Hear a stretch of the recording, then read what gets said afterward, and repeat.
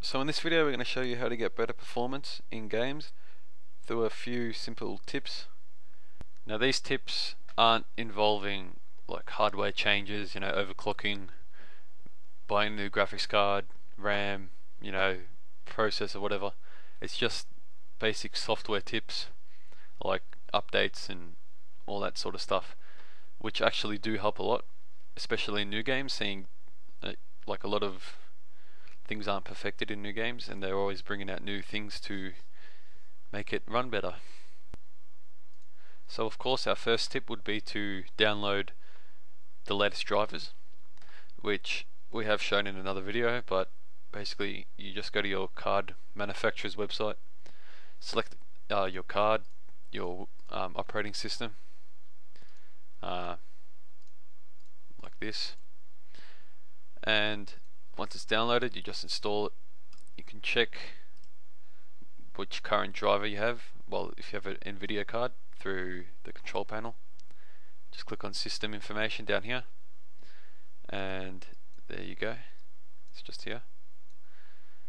Now these drivers are specific for new games. You know like a new game's released the companies like Nvidia and ATI will uh, make their drivers so they run these games better.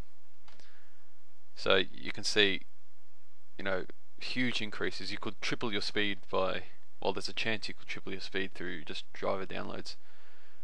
So if you're experiencing lag, always got to do this first.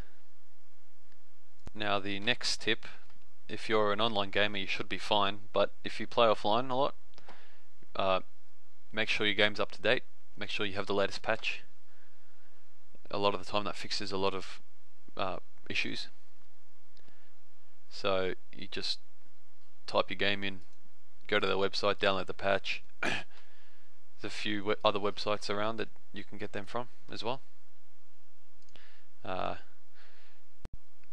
you could also defrag your hard drive through the default defragger or you could download one. So it's just here. This basically what a defrag does is like rearranges all the data on your hard drive. Say you've installed something you've uninstalled it you know you've you've installed all these little things you've uninstalled them again you know they all get jumbled up on the on your hard drive. And say like you'll have all this spare space on your on your hard drive in certain certain areas of it of the disk and like when you go to install a new program it's going to install it in those certain areas so when you're running the game it's going to uh, how do I say it? like it's going to the little pin on the on the disk is going to move around um, instead of just being in one section of the disk reading it it's going to be all over the place reading it alright so you just analyze disk or just defrag it and you choose which one. Easy. And you could also download this free program called CCleaner which cleans your hard drive all like all the temporary files all the files that you know you don't need. So you could remove up to 10 gig uh, of data un unneeded data from your hard drive. I've done this recently so it's not going to come up with too much but you never know. So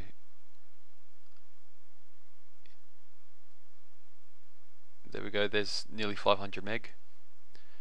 Usually there's a lot more than that, but because I've just recently done it. Uh, so once you've done that, it's a good idea to do the defrag after you've run CCleaner.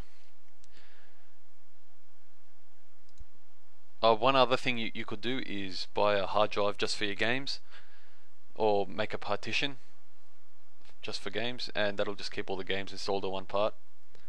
Or if there's one game that you really love I don't know you could just install that on one tiny partition and not install anything else on that. And or you could install that game first before you install a lot of other programs. That should uh, make it run a lot without being fragmented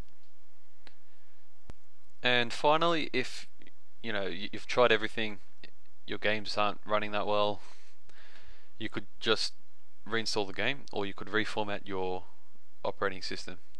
So what reformatting means is you just you wipe it off, you reinstall your whole operating system and you start from scratch, which is obviously going to be the last resort, but uh, sometimes it's necessary, especially Windows XP users.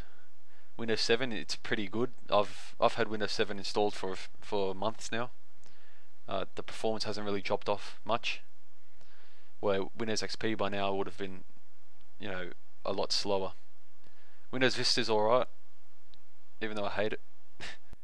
if you know any other tips or tricks, just leave a comment. You'll be helping people who are obviously having difficulties with their performance.